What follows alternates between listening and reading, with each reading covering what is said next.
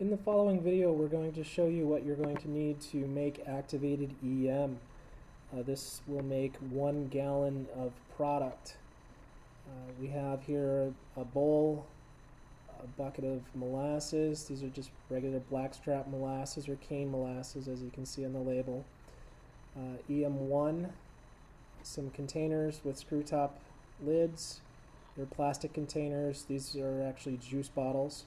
We have a measuring cup and some filtered water. measure out the EM1, taking about three quarters of a cup of EM1 directly from the container. Then we're taking three quarters of a cup of molasses. We're going to mix them together into a bowl with warm water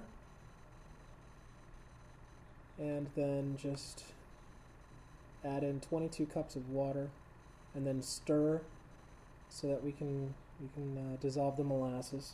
Then you fill up your containers. Once they're full, you screw on the lids and let them ferment. And it takes about five to seven days for the activated EM to be ready uh, at a room temperature of about ooh, 70 degrees.